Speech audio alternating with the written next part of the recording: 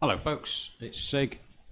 Just to um, keep you guys updated, I'll keep this as a short clip. But I was asked about increasing thorium.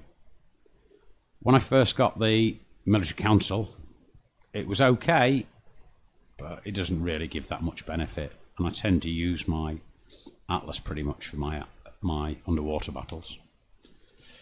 But anyway, what with the cost of land going up in terms of thorium, let me show you how I do this. I've got this booster ring of these aqua coves. I appreciate they're not always available. I had to sacrifice one thorium producing unit there. So if I just pick this up, take it over, all of a sudden now I get 28,000. Um, yeah, 28,080. Whereas back here,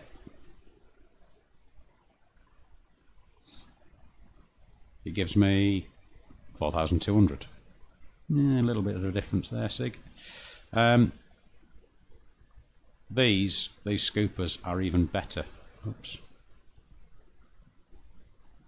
So this one is 56,160. And if you boost your thorium output, you know, you can get quite a hefty amount. Okay, that's it for the time being. Thanks for watching.